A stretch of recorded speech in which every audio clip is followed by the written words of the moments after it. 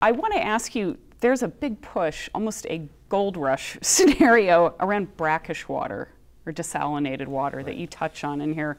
Fred, how real are these scenarios? Because I'm guessing this is part of the water planning that we might be looking at in the state, but certainly it's something that should be taken into account in long-term water planning. Um, it is a, a, very interesting and uh, uh, resource, right? And one that holds a lot of possibilities, but also one that I think holds a lot of dangers. And in particular, there's two dangers that I would highlight.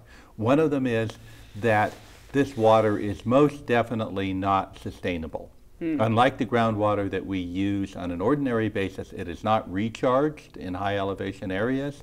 Um, it has been there for there. geological history. And so if you start pumping it out, it's not replenished. Hmm. So that means that if you stake your long-term future on supplying water from this source, it is not going to be there for a very long period of time, even on a human time scale.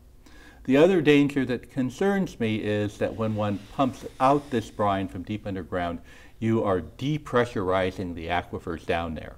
And that causes the flow, the, the potential for flow to be downward from the potable water aquifers into these deep aquifers. And the people that are promoting their development believe that the, that the, uh, the rate at which water is capable of flowing through those rocks that are in between the, the deep saline aquifers and the shallow ones is very, very low, slow rate of flow, and so there's no danger. But if they're wrong, then you could end up draining the shallower aquifers down into the salty deep aquifers and essentially losing that water.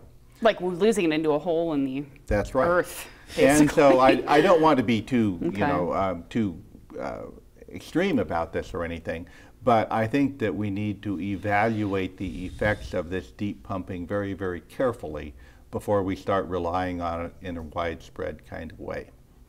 Um, I want to ask you, um, is water too cheap here?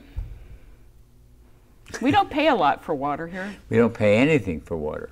What we pay for is the infrastructure. Mm -hmm. uh, and the water itself has, is, is not valued in setting rates by and large. I believe that's true. So I'm paying more for my cable TV than my water. Yeah, I mean, water is very cheap, uh, and it's based not on the value of water, but on the on the cost of infrastructure and how to off you know account for those for the cost. Should we change that? Probably, but the trouble with doing that is is if you if you price water, a basic commodity, uh, according to its real cost, then the ability to pay is going to make a huge difference in how much water you get and whether you get any at all. Mm. And there may be. Mm -hmm. so you could just, if you were wealthy, just buy as much as you want. well, buy as much as you want, but I think the worst thing is that the poor people wouldn't be able to buy what they need, you know, and and mm. you know to go from your wants to your needs, as we all know, is, is not a good thing. well, I'm going to put you both on the spot and ask if you know if you could both think talk about what you think the biggest priority is now in terms of ensuring the Rio Grande doesn't disappear or remains viable.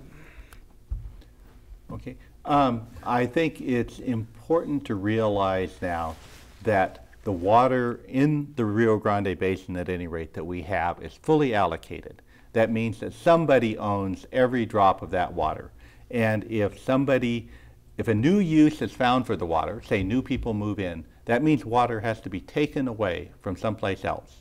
Either perhaps farmers, perhaps the environment, perhaps citizens who are already here, and uh, other things as well. And so I the, the other really important thing that I think people should realize is that water is our limiting resource. Water determines the environment that we're going to live in. Given those two facts, I really think that the people of New Mexico need to start thinking about what kind of environment do they want to achieve with the water that they have.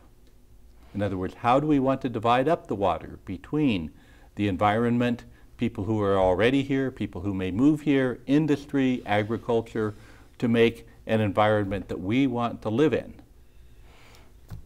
Em, would you like to weigh in?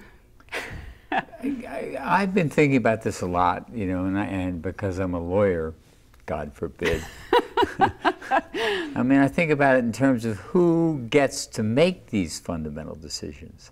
You know, I mean, is it, and, and that's really one of the significant battles that's going on now. Is it the federal government speaking for the nation as a whole, which is essentially what's going on with respect to the environmental values and the suggestion that the federal government really needs to take over the Rio Grande is, is that the Rio Grande is a part of the national community.